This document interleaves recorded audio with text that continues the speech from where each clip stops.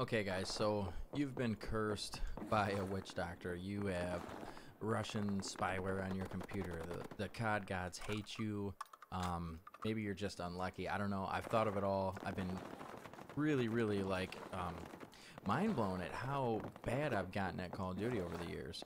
And I just recently figured out why. And I'm going to share it with you guys. And it will help your game out quite a bit. So here's what we do.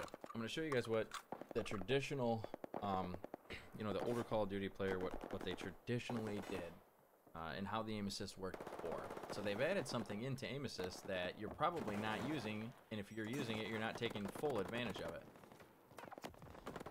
So, traditionally when you aim, um, this is the this is the aim assist that you're used to, right? And that's you can tell how much it slows down. But the problem is, is once you're on target, you can really move that thing around, and it doesn't stick much at all. But that's all the aim assist that we ever used to have. So like when we were learning how to play Call of Duty, um, and I'm talking about older people, uh, 30s, you know, maybe late 20s. Um, I'm not sure exactly what Call of Duty they changed this in, but I would imagine it would have to be somewhere around Warzone because that's when I noticed I started getting bad.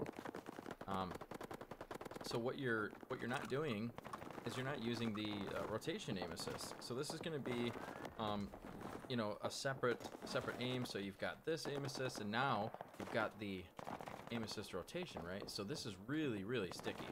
I mean, you know, wherever you aim, it's going to stick to that.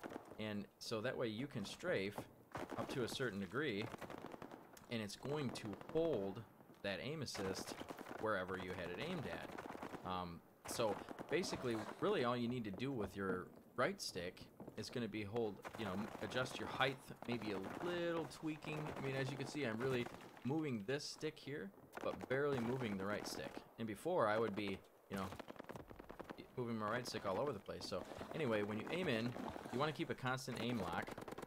Um, all you've got to do is just strafe. Keep a constant strafe.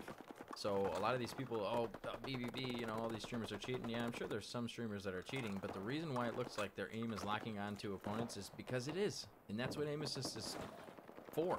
I mean, aim assist has changed. Um, a lot of people don't understand that. But yeah, that's the change that they made. So basically now you're using assist wrong, you just need to use it right. And then you'll notice that your uh, gameplay will be a thousand times better and you will be like almost back to your old self. Maybe a little bit slower, um, you know.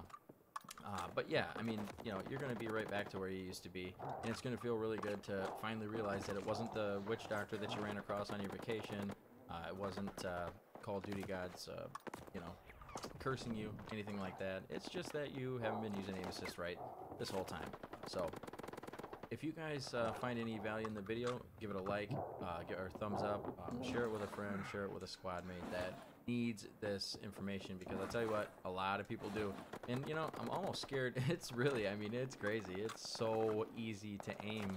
Um, normally I wouldn't be playing Call of Duty with my hands up in the air like this and I still am able to keep a really decent shot.